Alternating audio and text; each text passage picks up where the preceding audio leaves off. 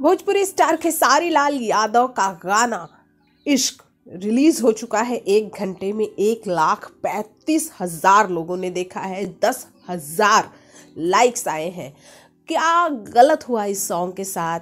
हम पहले तो इसकी बात करेंगे, क्योंकि ये बहुत ही गलत है खेसारी के साथ, क्योंकि ये सॉन्ग एक हिंदी सॉन्ग है। इसके लिए बस बनाया गया कि ये हिंदी सॉन्ग नहीं है, ये भोजपुरी सॉन्ग हो सकता है।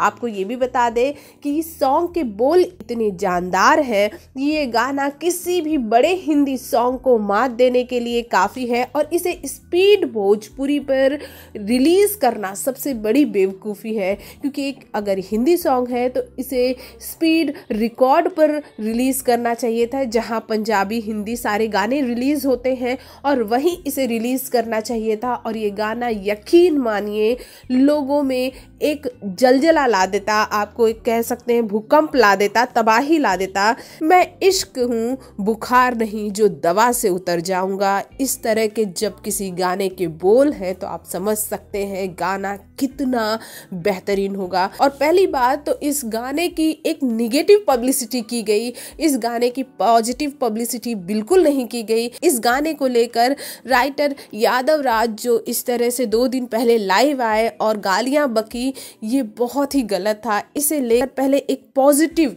एक पॉजिटिव पब्लिसिटी करनी चाहिए थी, जो कि इस गाने के लिए प्लस होता। वैसे पब्लिसिटी चाहे पॉजिटिव हो या निगेटिव है बोथ आगेन यानी कि दोनों फ़ायदेमंद ही होती है है, लेकिन फ़िलहाल इस गाने के लिए तो ऐसा लगता है कि खेसारी के साथ सचमुच कुछ गलत हो रहा है, क्योंकि ये गाना एक वाकई बहुत बेहतरीन गाना है। जिस जोश से खेसारी ने गाया है, उसे देखकर ये लग रहा है कि ये गाना स्पीड रिकॉर्ड पर रिलीज़ होना चाहिए था, बल्कि स्पीड रिकॉर्ड भोजपुरी पे जो रिलीज़ हुआ है, वो काफ़ी गलत कर दिया गया है।